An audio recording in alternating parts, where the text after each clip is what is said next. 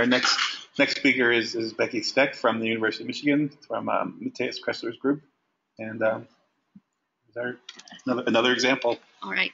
Thank you very thank much, you. Rudy. And uh, thank you guys all for hanging in there. We're in the home stretch, all right?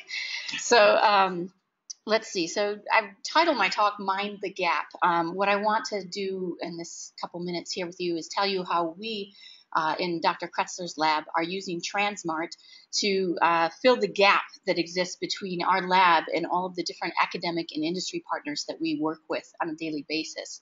Um, just uh, quickly, what I'll go over is a little bit about the ASBC, which is what I'm a part of and our lab is a part of, explaining this gap that exists for us uh, and how we use Transmart to fill it, of course. Um, and then I'll go over a couple of our challenges, kind of our wish list opportunity, um, tell you a little bit about what where we're going next.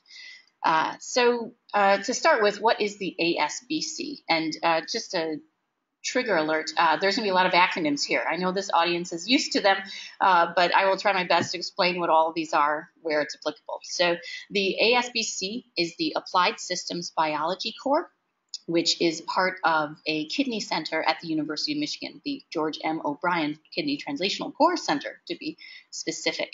Um, but uh, the ASBC, the real goal behind the ASBC is that we need to find a way to help uh, uh, integrate all this different uh, what uh, small science, I believe, is what Brian called it earlier today, that's going on with uh, comprehensive data that exists, all this genome wide data we're getting, um, and really marry these two up and marry up the, uh, the deep um, biological clinical knowledge that we have from a lot of researchers in the university with the relevant genome data that we also are collecting. Uh, so, and of course, this is for renal disease specifically. The ASBC and the O'Brien Kidney Center is focused on renal disease, and we really are just trying to uh, see if we can help improve patient outcomes at the end of the day, which everyone is, right? Um, there's three kind of main ways that the ASBC gets at this, um, and I'll go into that in more detail here, but we do a lot of just kind of one-on-one custom work for folks.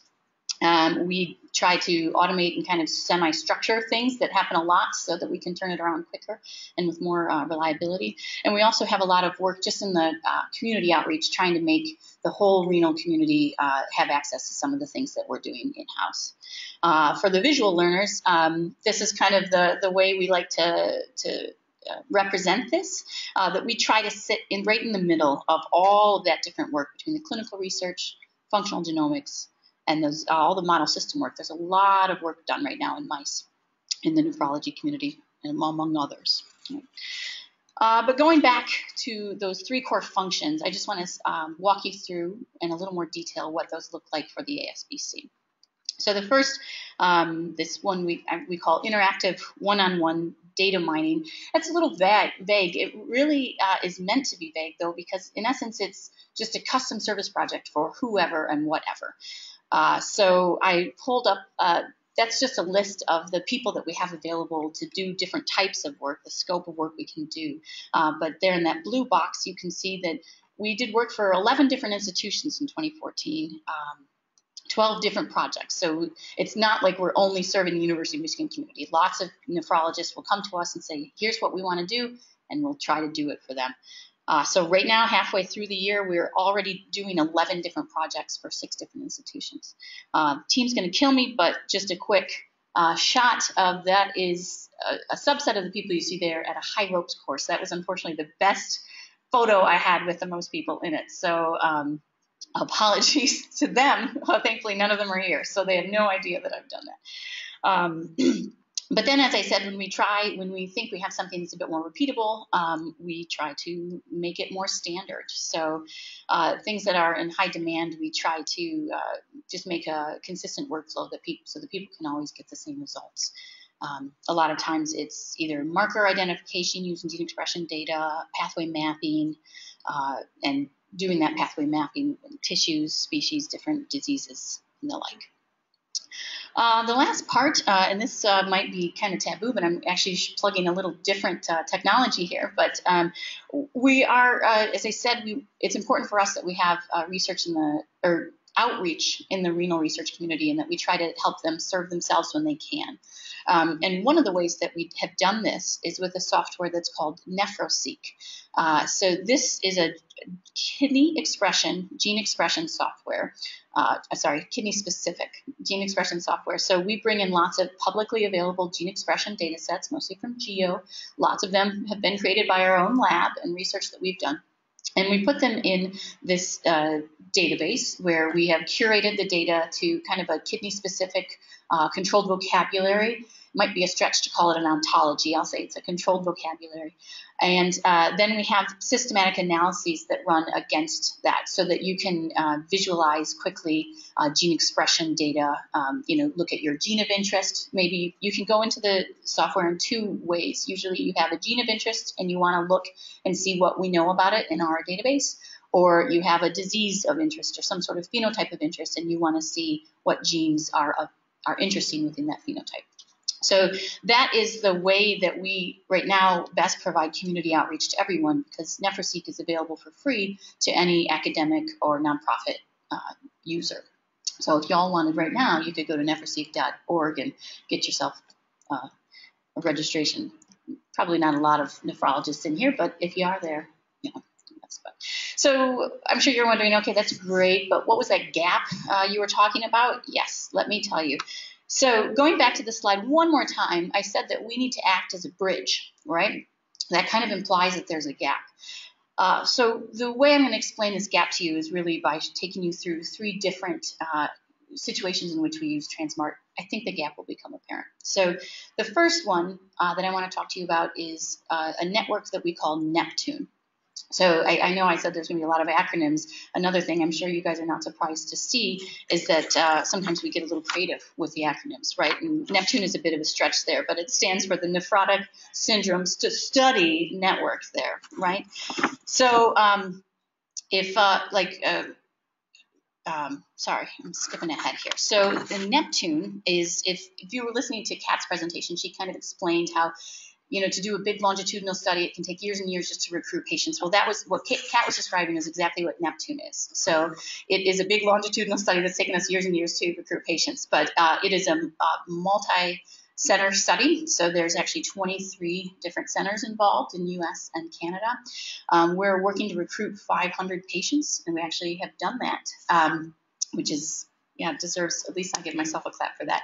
Um, and uh, with Neptune, we're now actually in the second of uh, two five-year funding cycles, so uh, it's got a lot of momentum, and that means we've also been able to follow the patients. So we have longitudinal data um, going on five years and and then some. So, um, but this the goal of Neptune was to bring all these teams together to you know understand the treatment of nephrotic syndrome and how we can uh, better improve that, right? But here's the gap. The problem is part of the remit of, of this Neptune network was that we wanted to make this data available. So this longitudinal study, right, it has a case report form that has to be filled out that has like a thousand, literally over a thousand data elements every visit. Um, but we wanted to be able to give that to our researchers, the same ones that these same investigators that are recruiting these patients, so they could go take it back to their labs and do other research with it. Uh, you know, hopefully just continue to feed the beast. Um, but how in the world can we get 23 different uh, institutions access to this thousands of data points over multiple visits, going on five years of visits now? Um, the answer is not in an Excel spreadsheet, right? Uh, so how and how do we actually make that something where they're not only taking it to their own home so they can do their own work on it, but they can collaborate with each other because that was really another point to this Neptune consortium was that they're working together and utilizing each other's strengths right? Um, and how did we then share findings? So uh, one other thing, I guess let me go back here for a second. You'll see the second to last bullet there says that it supports over 60 pilot and ancillary studies using this Neptune data. So really what happens is we have those initial data elements, there weren't a thousand at first. There were maybe 800. Um, but then as the study went on, we realized, you know, what would be really cool is if we grab this data too, because if we got that information in-house, we could do something else. Or, hey, when I was working on this in my lab, I found that this piece of information is really important. You should really start collecting that. Or how about if I get the grant money, I'll start collecting it and then I'll share it with you. And that's really what those pilot and ancillary studies are, is uh, pieces of additional data that we've that we're working on that we think would be cool. We try it out, we run the study, and then we turn around and put it back into the data set if we think it's worth it. And so that is why our data points, they continue to grow um, as we've learned new information about the diseases. So, so that's the gap, is how in the heck do we do it? Pretty sure you guys, spoiler alert, know the answer here. Uh, we have used Transmart to do it. So the way we've done this in Neptune is that we've actually created an instance that uh, we had to slightly customize it. I'll explain that in a second. Um, but this instance of Transmart really only has one data set in it, but it is for those 120 plus and growing consortium members. And so, uh, a couple of things we had to do because this is data that we want uh, to keep de identified, uh, research data uh, one of the things, some of the things that we did to customize is that we actually removed some of the functionality from Transmart. We removed the grid view functionality and the data export functionality. Grid view, in essence, you see it as a table form.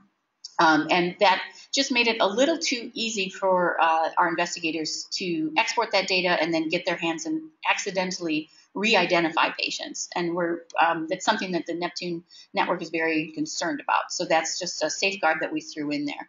Another thing we did was actually added a little uh, spoiler page at the beginning that uh, just warns people kind of a data use agreement. Hey, you're part of Neptune. That means you can't re-identify patients. You can't do these things. Yes or no. You know, you click I agree and you move on. You click I disagree and you just get kicked back to the login screen. So that's just one way that we helped kind of just um, add a little more uh, feeling of security, I guess, to to this application. But uh, what we do now is all 120 uh, Neptune Consortium members have access to this uh, I, I personally uh, created user accounts for each one of them, which I'll get to as I talk about the challenges in Transmart.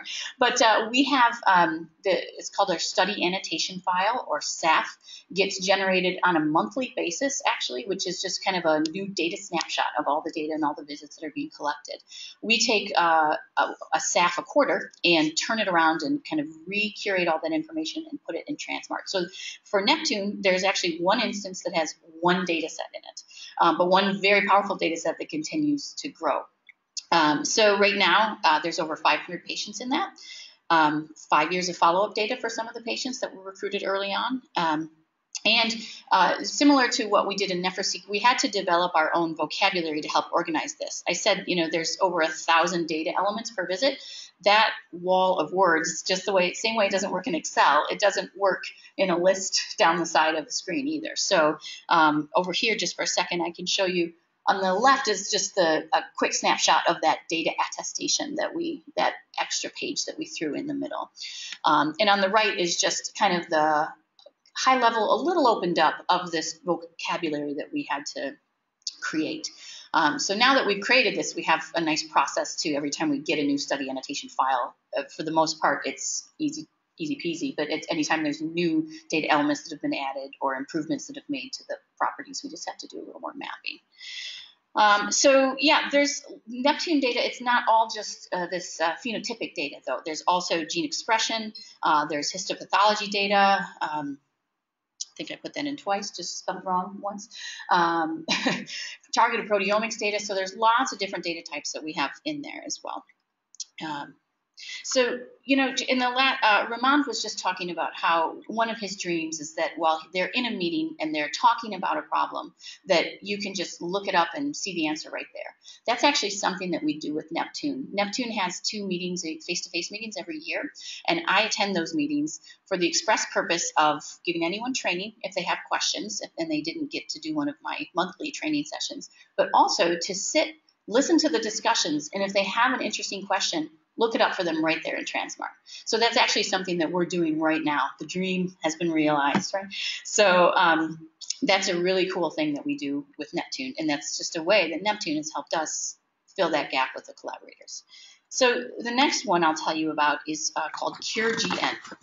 Uh, now, CureGN is a multi-center, five-year cohort study of glomerular disease patients. Hmm, sound familiar? Hopefully, because it's very similar to Neptune. Um, in, in some cases, CureGN was, uh, it's almost a competitor to Neptune. It was another, uh, just more grant money that was, uh, that they wanted more options besides just Neptune for patients to get recruited for. But actually, uh, some patients move right from Neptune into CureGN. So it's kind of a friendly rivalry, um, but there is sometimes some recruiting challenges between the two data sets and fighting for who gets the patients first. Um, but Cure is trying to follow 2,400 patients, so it's a little larger scale. Um, Cure is also, though, in its um, early stages. So for Cure, uh, we did the same thing because it worked. It ain't broke, don't fix it. So we've made another individual instance just for the Cure GN researchers. Uh, now, actually, uh, just yesterday is when we released it for the first time to the Cure GN researchers. Um, this one is going to have data releases only two or three times a year, just based on budgets. Um, uh, and again, it's that same idea that we're reusing uh, that same data set over and over as it as it grows, just continuing to curate. We were able to borrow the organiz- data organization from Neptune, and that data organization was had been inspired by NephroSeq, that other uh, software that I showed you earlier. So we are starting to build uh, a, a, really nice vocabulary for talking about uh, clinical properties in kidney disease. Um, And right now, since cure is still early, we only have kind of lots of phenotypic data, medical history, and lab information, but we fully expect that the data types that are in cure are going to be just growing as well. Um, here's just a glimpse of the what the cure data looks like in the Transmart Navigate terms section for anyone that's curious.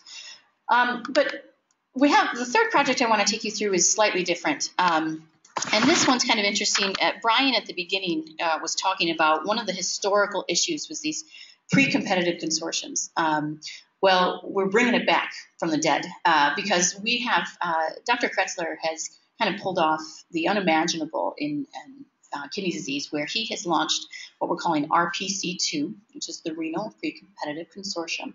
And what this is, we actually have so the researchers at the university, we've partnered with three different competing pharmaceutical companies. they are all working together with each other and with us. So not we're not it's not hub and spoke. We are all in this together. Um, in the press release about RPC2, uh, Dr. Kretzler was quoted as saying, "We have to find ways to bring new therapies to our patients faster." And this is what we decided: is that listen, we have lots of expertise, lots of R&D expertise within all these companies, if only we could work together. We've got lots of data at the University of Michigan. We have got to see if we can start sharing some information and come up with markers that are worth studying, that are druggable targets, and we got to do it fast. Um, so we're hoping that this gains a lot of momentum. So it actually was kicked off officially. It's been Matthias's dream for years now, and we kicked it off officially in January. And the reason Dr. Kretzler isn't here right now is because he's meeting with them to do a six-month "How are we doing?" right now across the ocean. So um, I think the answer, well, first, let's go again to what the pain point is here. It's a little different situation now, right? Um, in this particular situation, we have lots of data, uh, not just one data set. We want to give them all the data we have. We want to get all the data they have. So we have um, lots of data types that we want to share, and we want to share it with everyone. Uh, and we also have users from multiple disciplines. Now, and that's actually a, a, good point that I should have made earlier. With Neptune and CureGN, a lot of our users are clinicians, right? And so we want, uh, they're not necessarily the bioinformatics powerhouse power users. They are clinicians that just want to be able to drag and drop and see something cool. And um, but here we have we kind of run the gamut. We've got you know the R gurus, and we have folks from uh, tech transfer and IP that all want in on on on Transmart and what we're doing with with it for RPC2. Um, but most importantly, we want to, there's two other things that are kind of unique here. We really want to make sure that folks are focused on sharing results in a way. In Neptune and CureGN, it it's a little easier because these guys are already kind of playing for the same team. But in RPC2, it is something that is against their natural tendencies uh, to, to share the results. And so we wanted to make sure that was up front and center for them that this, this is something that you can do and you must do. Um, but then the other trick we have is that we have multiple data sets, but we'd love to be able to, where appropriate, put them all together, combine these different cohorts so that we can have just more power in numbers. Uh, so again, uh, we look to Transmart to do this. Uh, so RPC2 right now, there's about 40 consortium members who have access to it. Um, and the beauty of it is that it doesn't require the sophisticated bioinformatics knowledge. Um, so that's on the right there is an image of right now we have two different uh, data sets in it. We have a C probe cohort and an ERCB cohort. And uh, those patients were like right now running RNA-seq data on them um, on these very same patients. So we have gene expression data in, and then just some limited clinical data, right? Some demographics, a couple renal markers.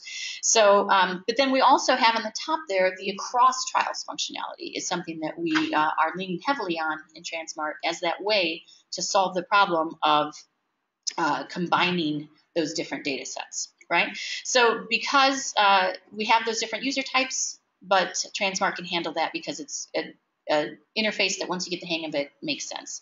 Um, we have all that functionality there for sharing and exporting. We didn't take away grid view and data export in RPC2 view because that's actually very powerful and important for these users. And um, we had developed a process just with the team to figure out when they have new findings, how to do it, how to bring it back in. So um, just those are three of the places that we're using Transmart. We're using it other places as well, and that's kind of what this slide is showing you. Is just uh, Neptune is going to have an arm in China as well. Um, but really, overall for us, it's that we have this shared ontology is a really important part of putting this all together, and um, that this data can be shared. So. Um, quickly moving on to just talking a little bit about some of the challenges that we have, because they're, I think, slightly different than challenges that maybe other people will encounter. So for us, one of the challenges is user management. Right now, for instance, in Transmart, there's not a forgot password ability. So if you forget your password, you email me and I make it up and send you a new one. Um, and for, for having, you know, Neptune has 120 users. CureGN, I just released it yesterday. It already had 40, and it has 20 more that we're asking for access this morning.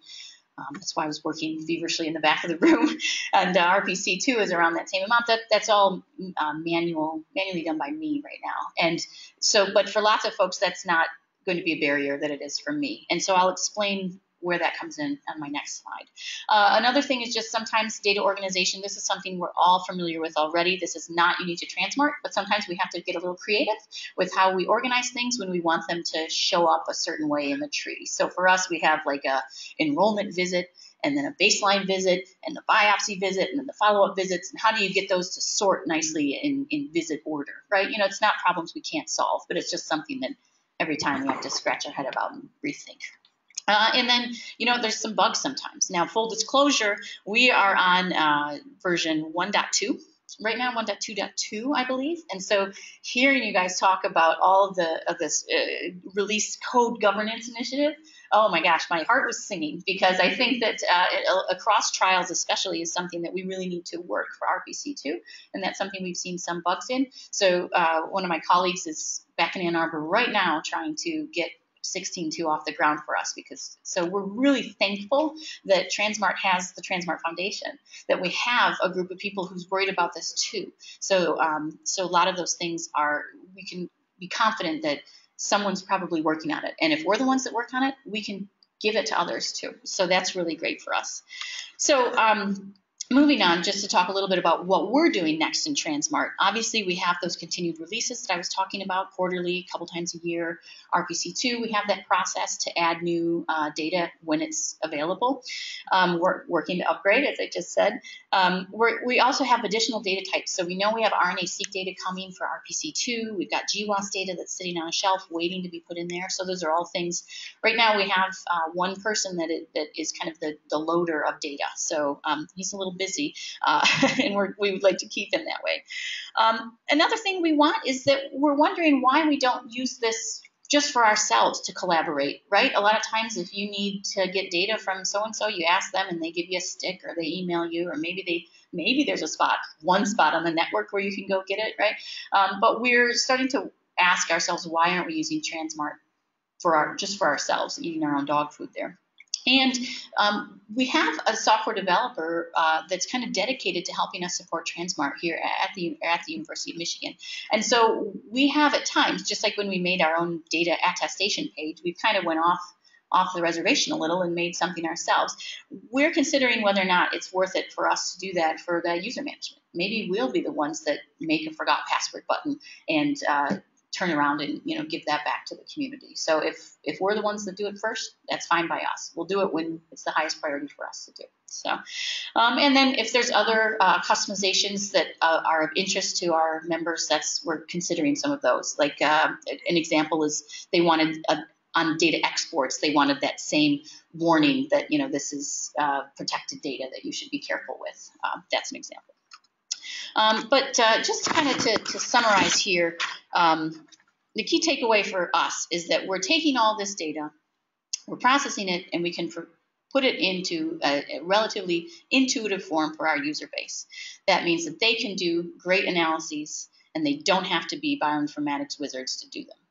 Um, right now, we, we recognize that we're not even getting all of the muscle out of Transmart because we're mostly using it for some deep uh, phenotypic data and for gene expression data. Um, but we know it's coming. We know that we're generating that data, so it's coming for us, and we know the Transmart is there waiting to, to receive it. um, so I guess I want to give you just uh, one little story to finish out my time is that um, with uh, Transmart I uh, at the university with this with ASBC and all uh, the support person, right? I'm the one making passwords, and I'm also the one that trains folks. And so recently, I got to train a doctor from uh, Boston University that was visiting Ann Arbor, and he had he's a Neptune investigator. He has Neptune data, um, a, a, special ancillary study that he's doing on uh, the gene PLA2R.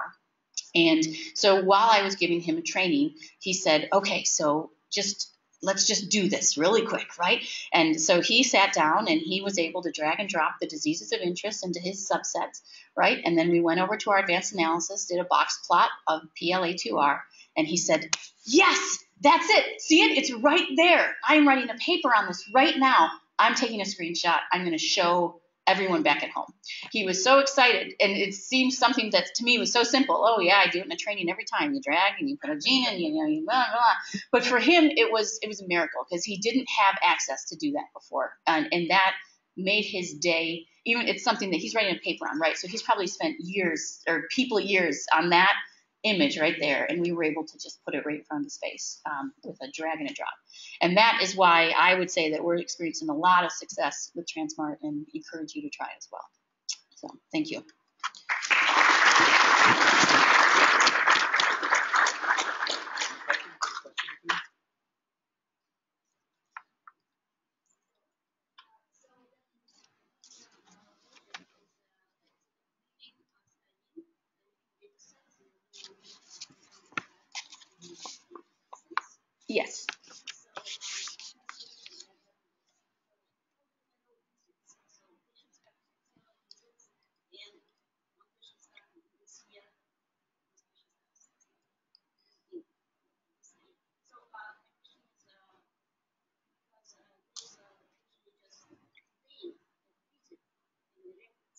Mm-hmm.